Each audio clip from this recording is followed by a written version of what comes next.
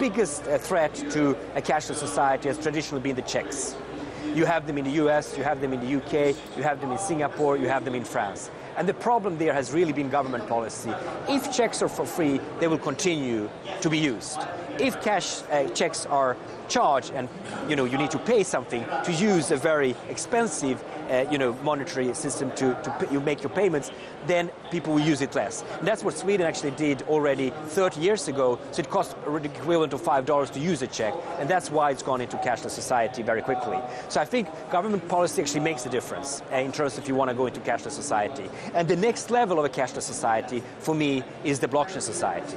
So, so government can make a difference. Does it concern you, not to sound a little conspiratorial, yeah. that you know, you like you say, everything can be tracked? Yeah.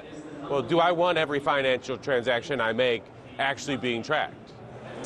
Well, you know, then you have, you know, we don't, we, yeah, you said we shouldn't go into blockchain, but you know, certainly if it can also keep privacy there, which you know we can discuss and later with, on. with the blockchain, you can keep the privacy, correct? With some solutions, you can, right? Okay. So that's really where it comes. As long as you can keep the privacy there, yes, I think you know we should keep track of our, our cash movements. But the question is the privacy, and it, how how on a permission based can we actually you know, at the same time keep privacy and also keep track of the cash movements. And for that, we need to have trust. And that's where the distributed ledger comes in. And to that trust is who is running it. So it's, it's all kind of linked to, to each other. In a, high society, in a high trust society like Sweden, we trust what our government does and we give data but we also know that they can't misuse the data from privacy policies. So it all depends also on government policy, on state policy, on municipality policy, who do you want to share your data with. And how does the blockchain end up playing into the idea of a cashless society? Well, I mean, it's all these permission-based, you know, distributed ledgers. Uh, how do you use them? You know, as you know, there are many different blockchains. Some are there really to protect privacy as much as possible, like Monero, like Zcash. They are maybe at that forefront, and you have others that maybe don't preserve uh, privacy at all.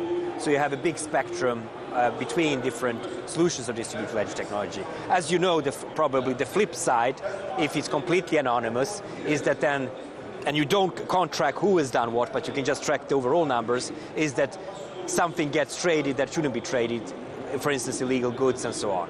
So there's a balance between, you know, how much can be tracked and, and when, and actually keeping the privacy um, and actually at the same time having the, the benefits of um, tracking the cash, cash movements.